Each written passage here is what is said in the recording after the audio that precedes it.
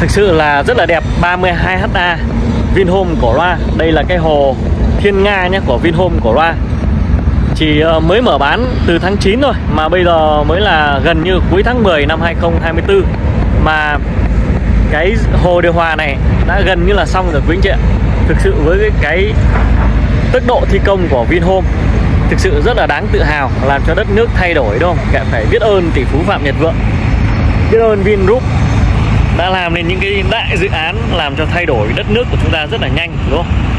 Và tôi nghĩ rằng là khi mà người nước ngoài ấy, họ ấy đến Việt Nam mình thì họ sẽ phải ngạc nhiên sửng sốt bởi vì cái tốc độ thi công đúng không?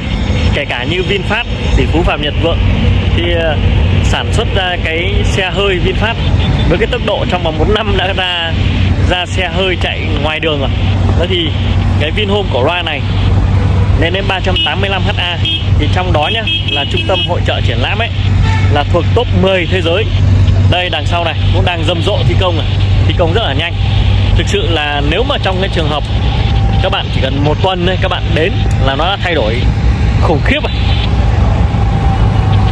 Đây, với cái tốc độ thi công thần tốc như thế này như tỷ phú Phạm Nhật Vượng cũng ờ, chia sẻ trên ờ, các phương tiện truyền thông đúng không? Nhân thời kỳ mà 40 tuổi ấy, thì tỷ phú cũng rất là thích đua với tốc độ cao. Vì vậy mà những cái dự án mà trước đây tôi cũng đã từng làm Vinhome nhá, Vinla Vingroup ấy thì thi công rất là nhanh. Trong vòng một năm thôi thì là dự án đã đi vào hoạt động rồi và dự kiến cái trung tâm triển lãm quốc gia này sẽ là 30 tháng 4 1 tháng 5 năm 2025 sẽ hoàn thành và đưa vào bàn giao. Khoảng tầm tháng 7 năm 2020 15 là Vincom Mega Grand World các thứ đều đi vào hoạt động hết. Thực sự là đến tháng 7 năm 2025 sẽ bàn giao cái dự án này nhé. Và người dân sẽ được nhận nhà thực sự là kinh khủng khiếp. Với anh chị cảm nhận như thế nào thì để lại cái bình luận bên dưới nhá, với cái thần tốc của Vinhome như thế này. Chúng ta có xứng đáng tự hào ạ. Anh em hãy để lại bình luận bên dưới nhá, và nhớ chia sẻ video như thế này. Hãy comment bên dưới là tôi yêu Việt Nam. Rồi, xin chào và hẹn gặp lại anh em. Ở bên này đất nó lên 200 300 hết rồi, mà bên chủ tư bán 200 300 này có cả xây.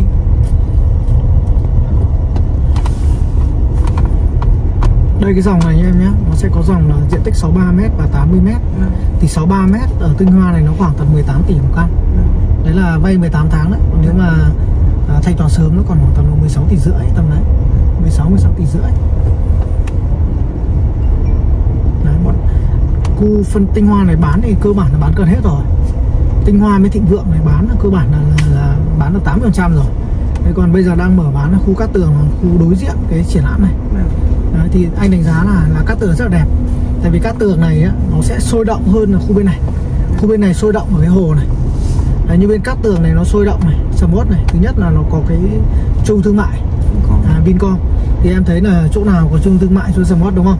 Thứ hai là cái chỗ này nó có cái một cái uh, cái mega gua như là kiểu ở Verni ở chỗ bên bên Vinhương Yên ấy thì khu này nó sẽ dựng một cái khu mega grand gua như thế có cái hồ giữa này. Đấy, cũng concept tương tự. Đấy. Thế thì, ừ, thế thì cái ở trục ở giữa này cái chỗ mà giữa Vincom với Megaworld này thì bây giờ nó đang loanh quanh khoảng tầm độ 16 tỷ rưỡi đến 17 tỷ một căn thì anh đánh giá chỗ này rất đẹp. Anh đánh giá chỗ này rất ok. Thì giá cả mọi thứ để ở rất ok. Gần Vincom là gần chợ gần Vinschool là gần trường. Đấy gần trường gần chợ gần vui chơi giải trí. Rất ok và giá rất hợp lý luôn. Giá còn rẻ hơn cả bên này. Rẻ bên này thì mình anh mà đánh giá thì khu này còn đẹp hơn mà giá lại rẻ hơn bên này. Đấy, nên mình nếu mà tầm tài chính của em nếu em muốn mua căn tầm độ 10 để ở nhá thì em mua chỗ này ok hết. Thứ nhất thứ nhất ở nội bộ nó vừa yên tĩnh. Thứ hai là sau này con cái học hành trường Vinschool liên cấp từ cấp 1 đến cấp 3 luôn. Đấy, thứ ba là đi chợ đúng không? Đấy, còn nếu mà đi chơi thì ra đây? Rất gần. Đi chơi. đi chợ đi học. Đấy, đều rất là gần. Đấy còn nếu mà khu tinh hoa nó được một cái là nó thông thẳng ra hồ cứ chạy thẳng đường này là ra hồ. Đấy, nhưng mà cái câu chuyện là là là giá nó sẽ bị cao hơn. Khu này khoảng 18 tỷ một căn 63 mét. Thì bên này khoảng 16 tỷ rưỡi đến 17 tỷ một căn. 62,5 mét. Bên bên đấy là vẫn chưa mở bán đấy anh đang bán khu này bên anh đang bán khu này. Khu ở trên khu này là anh khu này là khu tinh hoa nhá. Bán được 80 phần trăm. Bên này thịnh vượng bán được 80% rồi. Đấy nghĩa là bây giờ còn 20% còn lại về cơ bản là nó sẽ ờ, quy hàng nó sẽ không được đẹp ừ. em cứ xem đi. em xem nghiên cứu qua tổng thể dự án ấy xong rồi anh anh sẽ tư vấn thêm xem Đấy, tốc độ thi công của Vin nhanh. không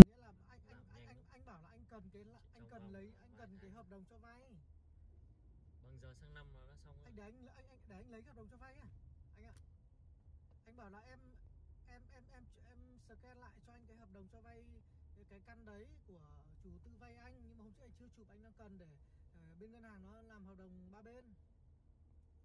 Vâng còn đòi hồ sơ thì mình mình 28 thì hôm nay đã hai mấy rồi thì mình đòi sau được anh ạ vâng vâng vâng vâng Hồ làm tấp nập này chưa có một cái chủ đầu tư nào dồn tiền nó làm kinh khủng như này bên Green bay lên kinh kinh kinh hồn đấy. ừ, tiện đó nói chung là các em mới tuổi trẻ như thế này mà đã đi tìm hiểu những cái cây những cái căn mà nó có giá trị thật như thế này quá đẳng cấp. Sau này thì chục năm nữa thì không biết là như, sẽ giàu như thế nào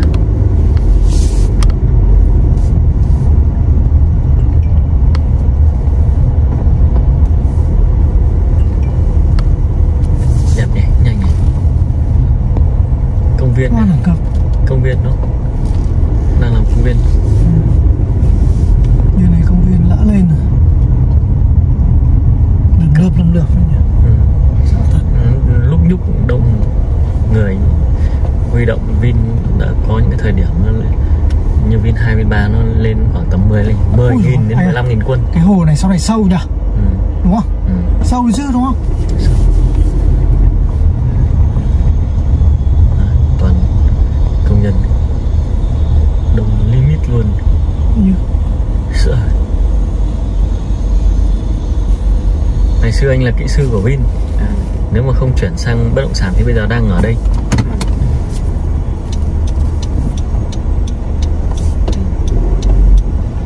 cái điểm cầu sau này nó bắt đầu từ khách sạn thắng lợi sang đây này em cũng không thấy cầu đấy là chỗ cầu Long Biên này với cả cầu Trương Dương với đấy gần cầu Nhật Tân này.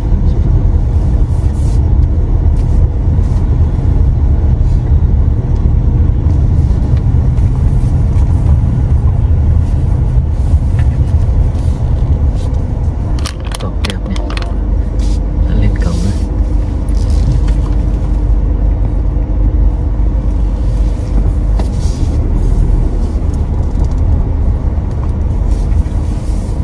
chính là như bọn em